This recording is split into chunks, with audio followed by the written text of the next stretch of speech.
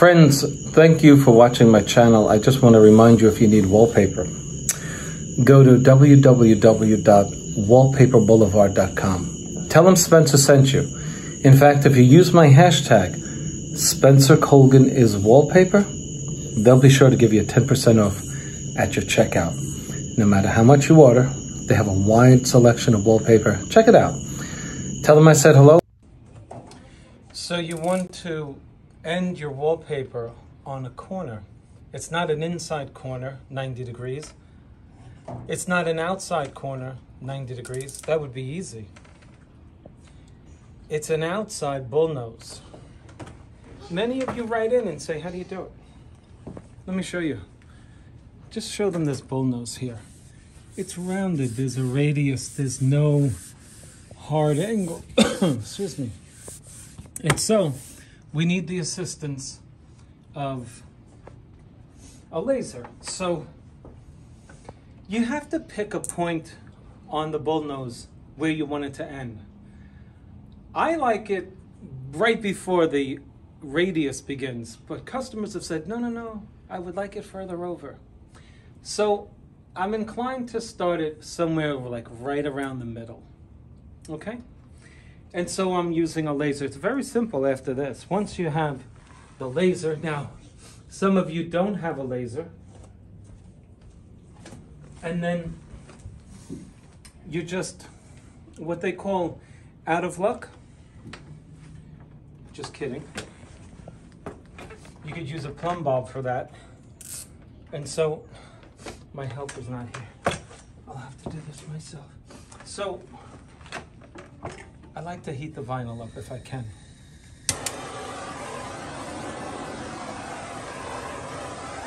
Just to give it that one final lay down. Because if you have air pockets in here, guess what?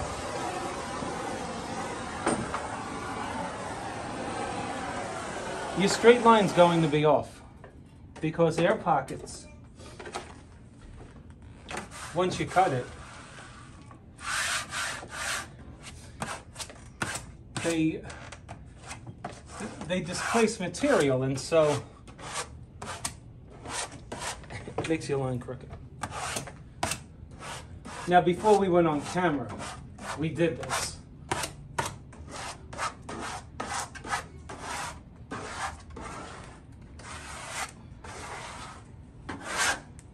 And as you can see, I've had to push more air out of the way.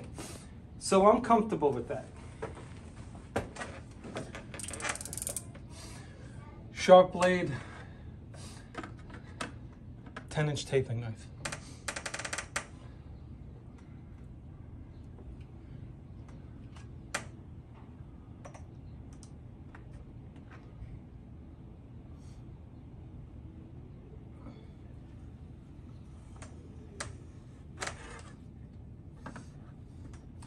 what makes this hard, right?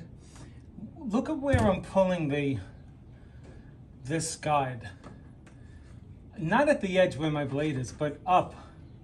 I need some support so that the blade, my guide doesn't slip. You see, if I put it right at the end, it's gonna slide. So it's almost halfway the length of the, of the guide.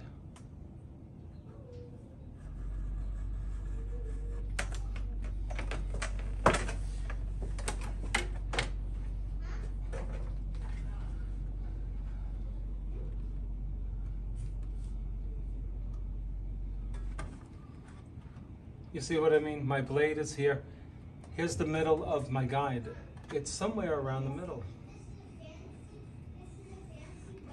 This prevents my guide from sliding.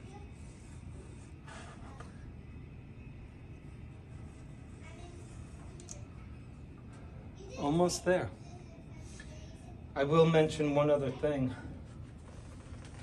and that is the paste.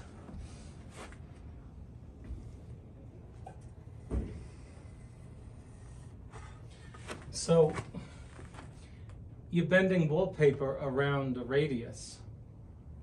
And that would be fine if, if you continued around the radius because this would hold this down. But when you're cutting it on the edge, you know what's going to happen. The wallpaper's gonna straighten up. So what do you do?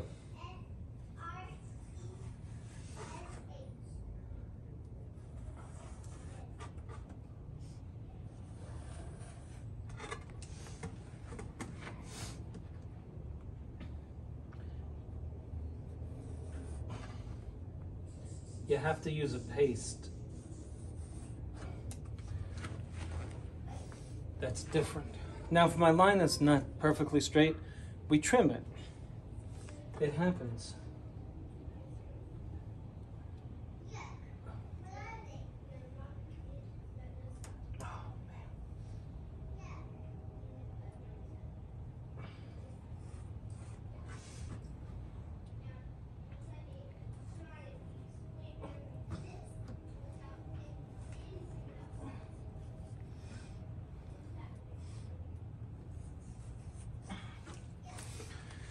I got an email from a woman yesterday. she took about a half an hour of my time.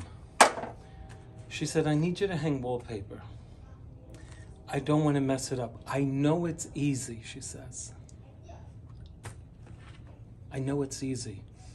So she's going to dump it on me. You know what that means, right? She doesn't want to pay.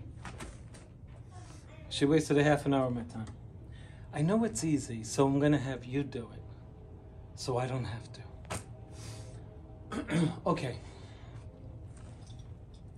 So I gave her the price. I said, if you want this done right, the price is X. she says, thank you for your time.